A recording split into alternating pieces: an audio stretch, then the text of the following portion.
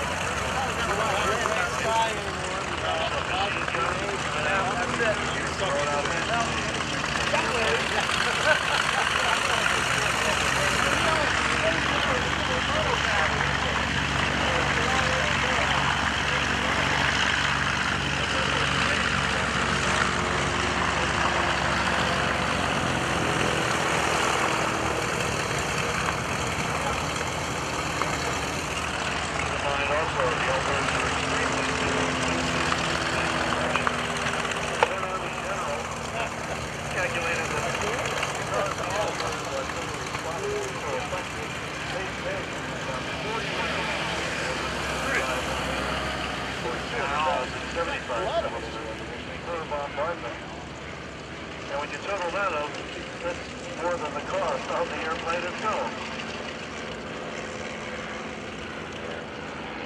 If they did have that on the MHP, only just 300 hours to build, they could have one out there in the field. Collectively, these L-birds are known as grasshoppers. And that came from an evaluation that the Army was doing in Tennessee back in 1941. Army General General Kennedy After witnessing a particularly bumpy landing, so they look they look like grasshoppers in a cornfield. And the name stuck. The old birds also referred to as spider plane PL for the Quezon because they were used in every age between theaters when the general and the Mac is taken from one place to another within the theater, take them all over the place for liaison reasons. L-birds came from that liaison aircraft. They have the same kind of But the popularity of Las the Vegas, grasshopper. the Japanese. Every box is the same when they put that number on there. You know, so you go into the model shop and you see those little X-wing airplanes, right? Grasshopper in the box. Uh, that outstanding number tells you what's in the box. in wartime but utility roles or courier operations, as I said. They also, also do quite a bit of photographing and visual reconnaissance, in addition to very close reconnaissance and spotting for artillery. They were able to be used for emergency resupply and also for rescuing Allied personnel in those areas, sometimes behind enemy lines. Because these aircraft could land on an unprepared surface, they could land on a field, they could land on a short piece of road, a couple hundred feet is all they would need. They could evacuate wounded soldiers.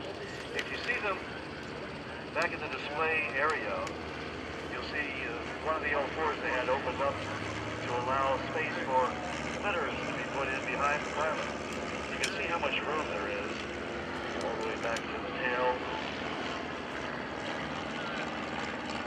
L-birds delivered mail, spare parts, they delivered food and ammunition to soldiers near the front lines. And were even used for smoke bombing and for laying telephone cables. The L-birds are very, very versatile airplane. Inexpensive, easy to operate. And even though they were flying at these low altitudes, they could be on over enemy lines, behind enemy lines. I mentioned there was a couple of reasons why the ground troops did not want to be giving away their It's actually, it's actually just But keep in mind, when they were shot at, these airplanes' wings and fuselage are fabric. That's fabric over steel tubing and wooden wings. And so even if you did hit one of them with uh, even a 50 caliber bullet, it's just going to make a little half-inch hole through the wing. And as long as you didn't hit a fuel tank, the airplane's going to keep on flying. There's uh, a record of one of them that actually had took a mortar shot. They happened to be flying along when the ground troops fired the mortar. They put a hole the size of a baseball in the wing of the airplane. They, didn't- they didn't know that until they got on the ground. There's a photo pass. Go ahead and put your cameras on. The airplanes they come by and a photo pass will show you the top of the airplane, the. Actually, kind of correcting for the crew. It's flowing from left to right as they're down. Thanks, Bud. It's a little blurry, I don't know why. Wonder how can we have an air show? How can we do aerobatic maneuvers and things like that so close to a crowd? Well, it's because the Federal Aviation Administration directs exactly how we are supposed to do this. And there's a line that you can't see down the center line of that runway. Are they texting here this way for the away most from part? your Ah, they have been. They have been. I've been Yeah, going for of You don't need a runway. telephoto for You that. folks back there, Exactly. same thing. If they came up the other runway, if they used for takeoff, they would be at least 500 feet away from same you. routine, But we only need that when they're going to be performing aerobatics, yesterday we were which heading we'll see west. later on. Winchester, plus we had an accident this morning. So that's how we can do that. I think they're going to be setting up for the land. He either caught a gust wind or he had a structure failure. Wow. Well, he was very lucky. We'll watch them continue in the direction you're seeing now. They will fly The tail swung around and he didn't go over towards Yeah. Oh, that's what they're doing, right? Nobody, nobody hurt. thank God. They'll be lining up on that. You can see that. You folks out here on the inside, look to your left, you can watch the left. Runway 180. You ended up charging him extra when they got back because he it. had some. Sometimes Ah, you know, now a thrill ride. That was the roller coaster option. I told you not to touch that damn lever. That's one eight zero. That's the magnetic compass heading of that runway. So when a pilot rolls out, he's cleared to land on runway 18. He rolls out on final approach and he's looking at the runway. It better say south or 180 or 18 on his compass on his airplane.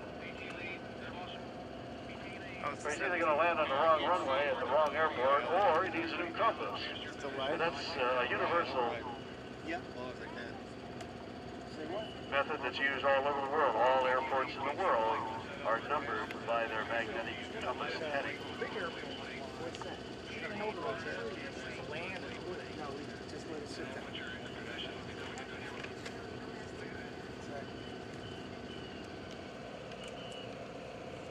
He's trying to wear us down. Okay, our L birds are beginning to land and taxi down the taxiway.